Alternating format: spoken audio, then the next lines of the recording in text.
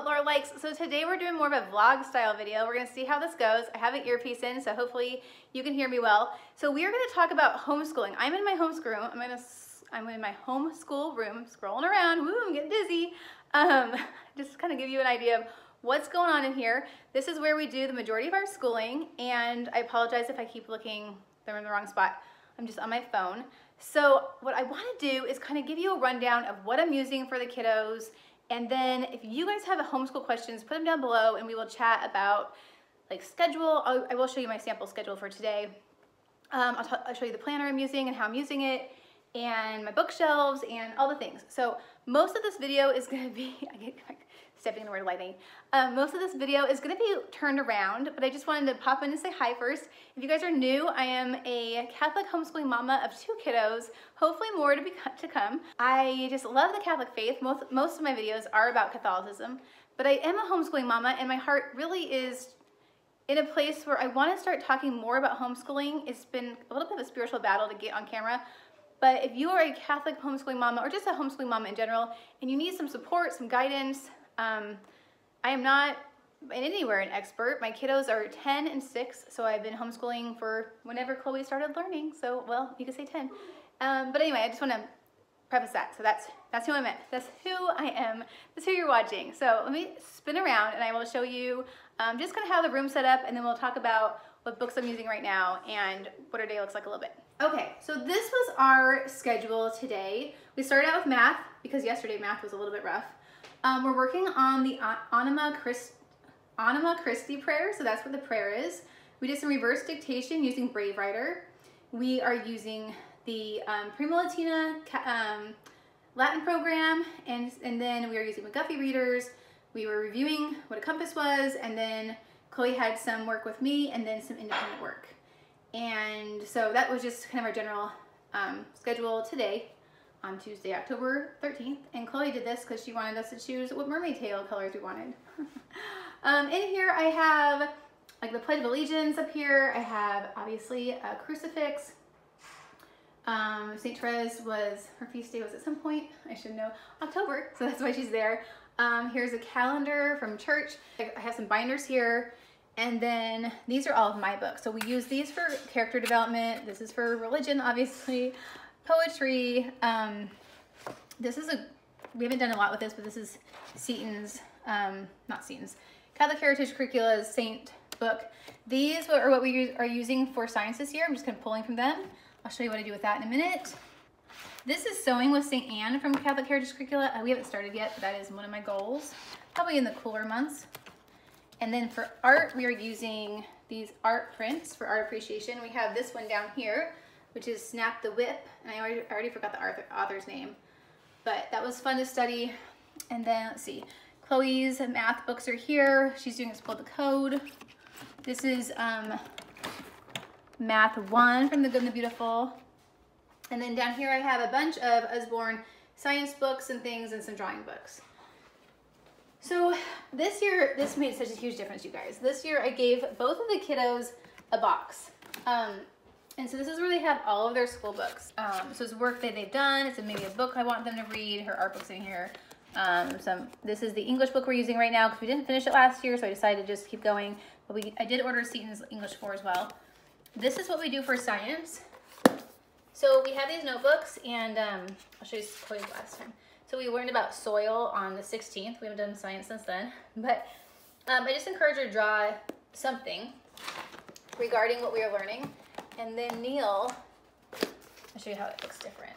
So that she's 10 and he's six. And so he drew, you know, the worms and some digging and some, you know, the compost. And then she, you know, added words to it and things like that. I like having it more open-ended for science so I can teach the lesson and then they can write something like a takeaway. It's kind of like what they do in Super Why. That's kind of funny. Um, they each have a notebook for, um, for copy work. They each have a Baltimore Catechism, and then these are some different um, books they use for her. And then for Neil, this is just from Target. Um, oh, and here's the, the McGuffey readers. So Neil's doing primer, and I just teach one lesson a day. He's six.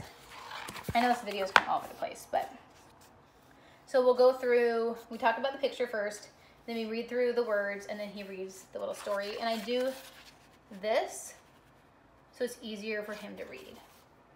And I actually do that for Chloe as well. I do that with both of them indep independently. For Neil, I just started using this first language language lessons. We're gonna work through this book. And, oh, here's, that's Chloe's Prima Latina workbook. She needs to do that actually. Um, math level K, which I have a whole video on this. Um, oh, some books just got mixed up. This is the one we're using for Chloe. Now she's fourth grade, but um, I just we started off with like easier stuff. So this is stuff that she can read, but it, it, and she does go like this. But she's slightly dyslexic, and the language is a bit different than the average book. So um, anyway, I'm just kind of showing you through what's in their what's in their um, boxes. And then they also each have a binder. And so what I do for these is the prayer that we're working on goes in the front. I just type that up. And then this actually came with my planner. And then, um, so Brave Writer is a bit of a different program. So I use a certain website, I'll link it down below, to make these. And they each have a math section in here in case there's anything with that. And then she'll have like she so she hasn't finished something from Math-U-See and maybe some other helpful math items. And then we have a geography as well section. This is Europe because we're going to Europe.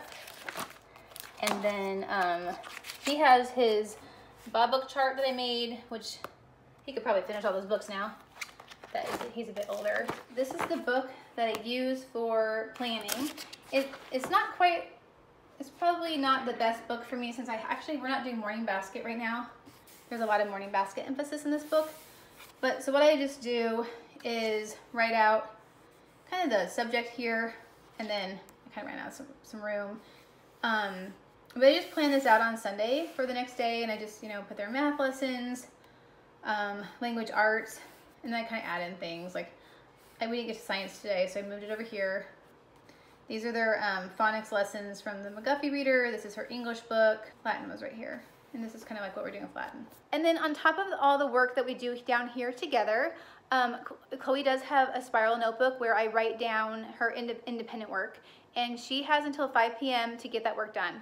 So um, kind of like homework. And it shouldn't, shouldn't take her more than like 30 minutes maybe.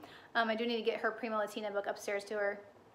But she's fourth grade and I just wanted her to have some work that she needed to do on her own, and then I just correct it. We have a lot of third grade Seton left over because I bought the whole thing last year, and some items I liked and some items I didn't, and actually I just ordered religion for both kids from Seton, as well as English 4, Vocab 4, and Book of Gladness, and their Catholic Songs DVD. So I'm excited to get those in.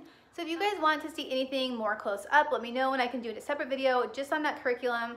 Um, I know I kind of flew through, through things pretty quickly. I'm going to make a blog post that corresponds with this video and put it up on my What Laura Likes page. So on there, I will have a list of what each kid's specific curricula looks like that I've put together and then links to everything. So um, if I went too fast or you weren't quite sure about a particular subject, then um, I will have everything linked there. If you thought this video was helpful or you just like seeing what we're doing, um, make sure that you give this video a thumbs up and share it if you know somebody who just needs that little bit of motivation for homeschooling. That's a whole other topic as well. So, um, all right guys, until next time, continue to know God, love God, and do God's will, and I'll see you real soon. Bye.